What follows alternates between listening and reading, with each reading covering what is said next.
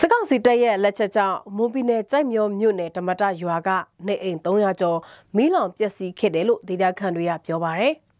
ကြက်မျိုးမြို့နယ်ကဓမ္မတကျေးရွာကိုစစ်ကောင်စီတပ်က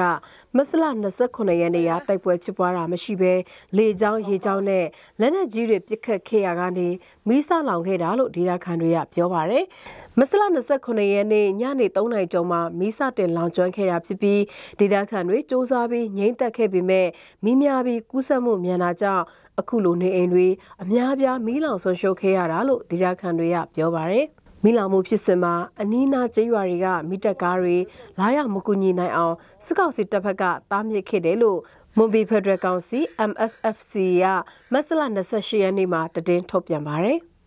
ဓမ္မဒကျေးရွာမှာဘယ်တော်လန်ရဲ့အဖွဲ့အစည်းကမှတပ်ဆွဲထားတာမရှိဘဲအခုလိုလက်နက်ကြီးတွေနဲ့ပစ်ခတ်တာဟာကုတ်ဘင်းရဲစခန်းတိမ့်ပိုက်ခံရတဲ့အပေါ်စစ်ကောင်စီဘက်က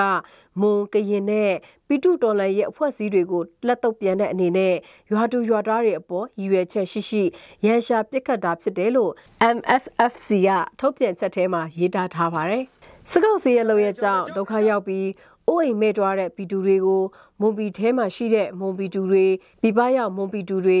မြန်မာနိုင်ငံပီတူတွေနဲ့နိုင်ငံတကာအဖွဲ့အစည်းတို့ကလူသားချင်းစာနာမှုအကူအညီပေးအပ်ဖို့မွန်ပီဖက်ဒရယ်ကောင်စီ MSFC ကတိုက်တွန်းထားပါတယ်။